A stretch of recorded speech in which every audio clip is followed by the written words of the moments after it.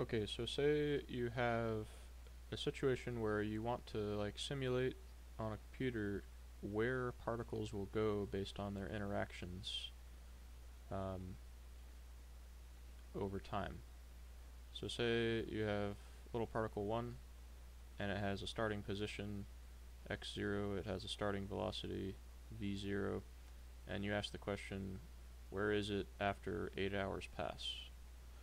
Well, Newton asked those questions and he said, ultimately, that the velocity at some time t is equal to its initial velocity plus its initial acceleration times the change in time that passes. And similarly, its position at time t is its original position plus its original velocity times the past time plus its original acceleration times 1 half times the square of the past time. These are known as Newton's equations of kinematics um, and they can answer questions like this. Things get more complicated and past what you learn in general physics in school when there's another particle here and it interacts with this one. Because you can't just ask now what happens after 8 hours. You have to ask what happens right after both of them move right here and their interaction is different. And then, based on that new interaction, maybe they move like that. And then they actually push each other away, as in the case of atoms and molecules. If you want to answer questions like that, you have to deal with time integration step by step. You discretize this problem. And just like any kind of calculus, or any problem where you want to solve an integral in calculus, the conventional way to do this, say from time 0 to time t equals t, from t equals 0 to t equals t, you would do integral from time is 0 time to t of a dt. And whatever form a has with t in it, you do that calculus. In terms of physics, a is dv dt. So what you have is this integral, which is just dv integrated from 0 to t. Well, the fundamental theorem of calculus says this integral is v, whatever v is at time t, minus whatever v is at time 0, right? The generic form is just dx from x is a to x is b is just b minus a. Because x is a and x is b. So here v depends on t and v depends on 0. This is a time integration so you get a functional difference instead of just a numerical difference. But the, the form is the same, and it's still a fundamental theorem of calculus. Uh, these are the kind of problems you can solve by discretizing Newton's equations of motion, where instead of 8 hours as your delta t, you'd have something, in the case of atoms and molecules, as like 1 femtosecond as delta t. That's 10 to the minus 15 seconds, super faster than a snap of the fingers. And in the case of gravitational dynamics and modeling planets and galaxies and such, you'd have maybe, uh, I really don't know what they do, but it's probably on the order of years or even thousands of years if the system is ginormous. So the smaller your system, the smaller your time step because they are moving comparatively very fast a, a, gas in general, the molecules in a gas move roughly 500 meters per second, which is faster than any car you've ever driven. Um, so you have to take very small time steps because if you take too big of a step, then you could be saying, oh, this one went there, and this one went there, ignoring everything in between, but that's the important part of the physics. So anyway, velocity Verlet is used kind of as a go-to favorite integrator for solving Newton's equations of motions for molecular simulation and gravitational stuff and video games. It's all over the place. I wish that I had something like this derivation when I first started, but that's how you learn. So I'm going to go through kind of a quick version of this. First I'm going to show Euler's equations, and then I'll just show how velocity Verlet is different, why it's better. So Newton's equation says f is ma. That's the same thing as f is m dv dt. You can move m over like that. And now we can integrate both sides to find out about the velocity. So on the right hand side here, you get v at time t minus v at time 0 is f over m, which can come out of this integral. There's no explicit time dependence for the force. It's different at different times, but only because the positions are in different places. In other words, force is a function of all the positions in general, not the time.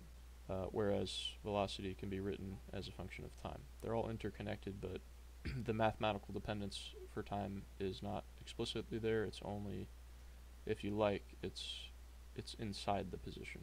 But if you isolate an instant in time, time dependence goes away. So the long version of that is just that this integral is f over m times t, because it's integral 1 dt times f over m. So, and you can rewrite this like that. Or in other words, v0 plus a at 0 times t. So don't confuse this as a function of t, it's just times t, really. Times t. so here's our first equation, which looks familiar over here. The time steps I'm using are, instead of like 0 to delta t, or t to t plus delta t, I'm just using 0 to t for simplicity in the math. But you can use any endpoints and the equations will take analogous forms like this. I use 0 to t here. Alright, so you can continue this procedure for the for the position. The x of t dt is velocity. It's dx dt. Integrate that from 0 to t. Same thing on the right side. Integrate from 0 to t. here we get x at time t minus x at time 0. On the right we get v at 0 times t plus 1 half a at 0 t squared. So integral of this, v0 is just a number with respect to time. It's not dependent on what time you're at, it's just the velocity at the beginning. So you get v0, v at 0 times t. Here you get 1 half times a at 0, which is also just a number, times t squared for the integral. I'm assuming some knowledge of calculus. We can finally arrive here for our second kinematic equation. So this one and this one are the same as what I wrote here, which is what high school and early early college physics students memorize often. Uh, but this is a calculus derivation. This is the thought process that Newton had. So in practice, um, this is incredibly useful because uh, you can again take two particles, calculate their force, and determine for some small time step where they'll be at the next time step. Then at those new positions, you can recalculate the force, find out their new positions. Then at that new time step, you can do it again. But at a certain point for atoms and molecules, you actually change the trajectory because the attractions turn into repulsions, and you get motions like bonds. So, like a a uh,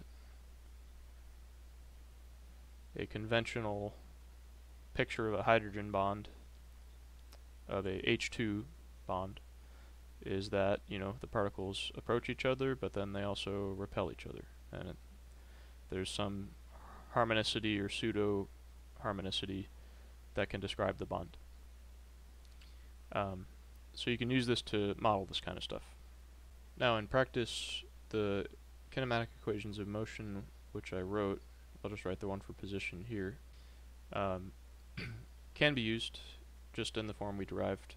We did Euler's integration, but velocity Verlet says instead of doing our integral with all adding up all these rectangles like so, like Riemann sum, Euler's integration would give you this kind of approximation to the integral. The integral is of course the whole area under the curve. But when you discretize it on a computer, uh, you have some error, right? So the bigger your time step, if I drew an analogous integration with a bigger time step, it would look like this. Say twice the time step in blue.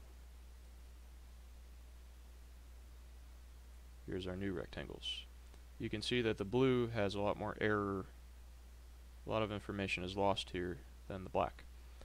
So the smaller your time step, the better, but the trade-off is the smaller your time step, the more calculations you have to do. There are different ways of doing integrals. There's trapezoid rule, Simpson's rule, Riemann sum, etc.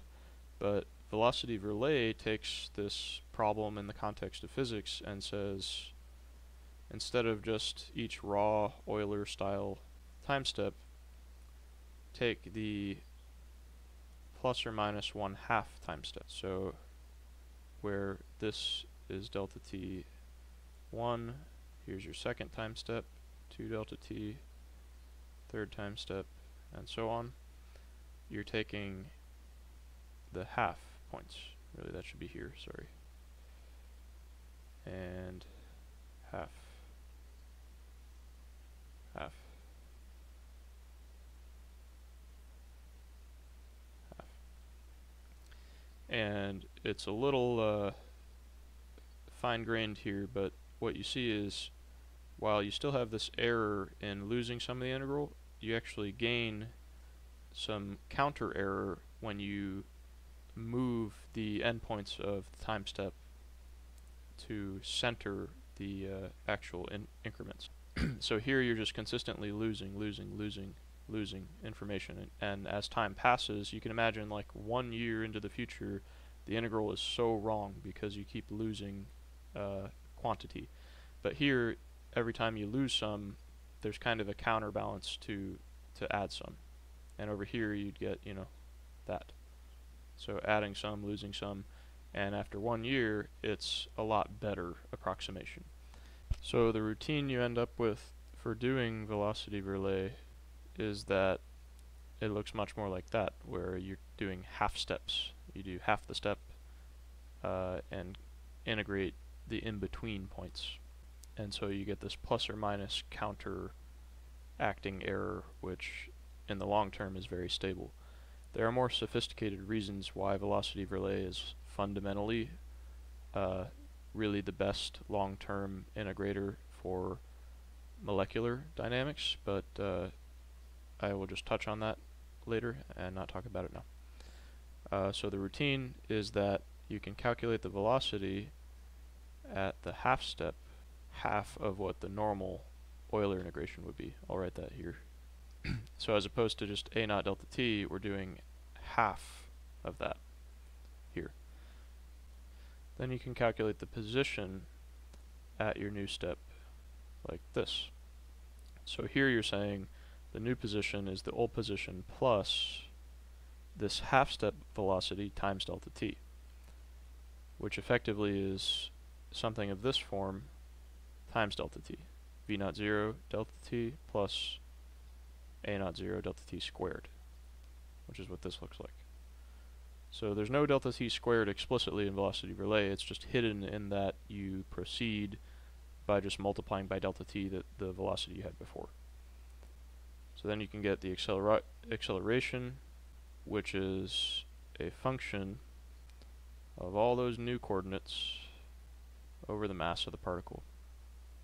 And then you can finally get the full time step velocity by adding the half time step velocity and a half uh, of your new acceleration. So these are your four steps for doing velocity Verlet in practice. And what you notice is at every time step, right after you move the positions of the particles, you have to recalculate the forces on all the particles.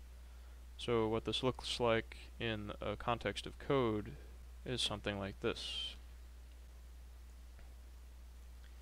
So for the velocity Verlet algorithm, first thing we do is calculate acceleration and velocity, which is in the first step. Then we can get the position, like so. We do a periodic boundary check if the system is uh, on a computer, when you want to do uh, like an infinite kind of system, then you move particles that escape your box back into the box. So that's what's that. and then you calculate the forces again, that's in step 3 here, and then you recalculate, you can recalculate the uh, acceleration, which is also step 3, and velocity. These functions are just called here, but their context is described in another file. This is a code I've been working on since the beginning of grad school, so it's kind of in depth at this point. Uh, but the essence here is that the velocity, you can see, you add to the velocity half of the acceleration times time. That's right here. See that? And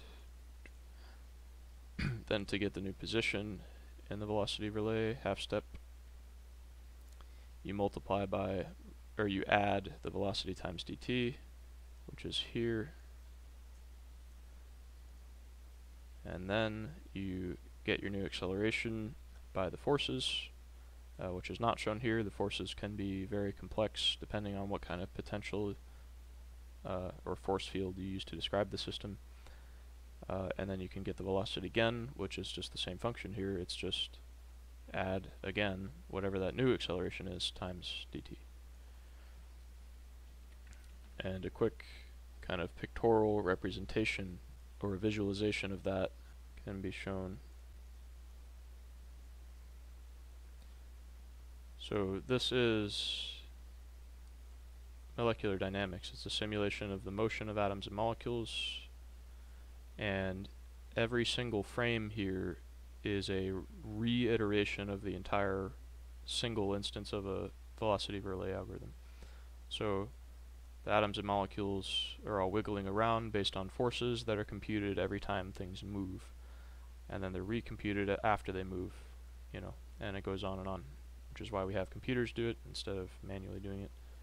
So if you appreciate this video or it was helpful, please like, comment, and subscribe. I am pretty new at this, so suggestions are most welcome, and have a great day.